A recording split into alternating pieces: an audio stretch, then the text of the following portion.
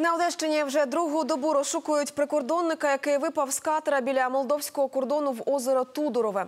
Під час патрулювання району сильний вітер перекинув човен і у воді опинилися четверо військовослужбовців. Трьом прикордонникам вдалося вибратися самостійно на суходіл. Вони дістали переголодження. В одного чоловіка травми ніг. Розшукують зниклого всі. Прикордонники, поліцейські та місцеві рибалки ретельно прочісують озеро. Задіяна і прикордонна авіація.